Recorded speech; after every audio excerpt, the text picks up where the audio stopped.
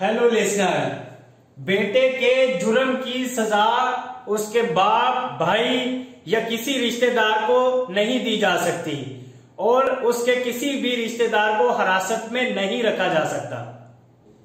Hello listeners बेटे के जुर्म की सजा ना उसके बाप, भाई या किसी भी रिश्तेदार को नहीं दी जा सकती और ना ही उसके किसी भी रिश्तेदार को हिरासत में रखा जा सकता है।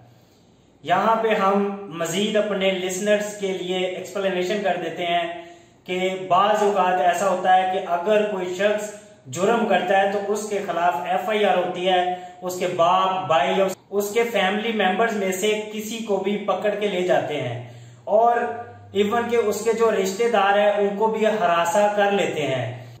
आपने ऐसा कभी भी नहीं सुना होगा, ना देखा होगा, हमारे जितने भी सेलिब्रिटीज हैं, सियासतदान हैं उनके खिलाफ केस हो, या उसके किसी भाई को पकड़ा हो या उसके किसी फैमिली में से किसी को पकड़ा हो इवन के उसके रिश्तेदार में से किसी को पकड़ा हो जिसका जुर्म होता है, हमेशा उसी को ही गिरफ़्तार किया जाता है और उसी को ही पकड़ा जाता है।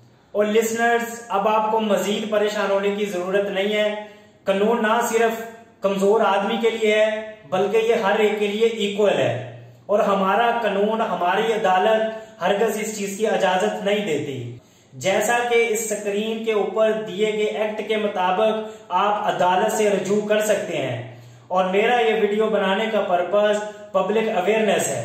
आप इस वीडियो को ज़्यादा से ज़्यादा शेयर करें ताकि हर एक के पास ये मेरी आवाज़ पहुँच सके। और इस एक्ट के मुताबिक वो अपने आप को, अपनी फैमिली को प्रोटेक्ट कर सकें। Thank you so much